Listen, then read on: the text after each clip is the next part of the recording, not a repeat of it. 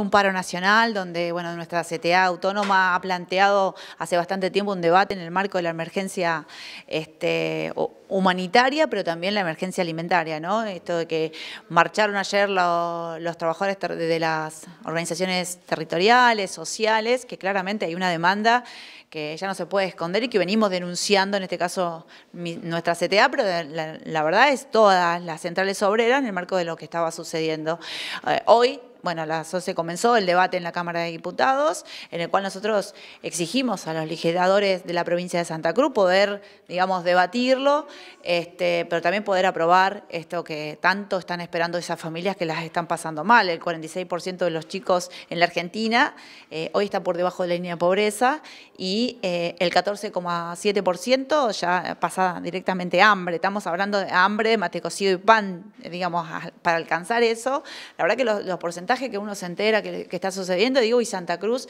no está alejada de todo eso, por eso tenemos más matrícula en los comedores escolares, eh, lo cual después haciendo, hilando más finito, 130 pesos eh, pone Nación por mes por cada chico que va a los comedores, digo, 130 pesos pensados y puestos acá en la provincia de Santa Cruz, la verdad que es nada, después las provincias pueden poner partida, pero digo, esa es la política que, nos viene haciendo tanto mal, ¿no? Nosotros no solo que marchábamos por la emergencia eh, alimentaria, sino también por, en contra de las políticas este, del Gobierno Nacional, que hace obviamente guiños al Fondo Monetario Internacional y ellos bajan toda una política y un modelo de país que quieren instalar.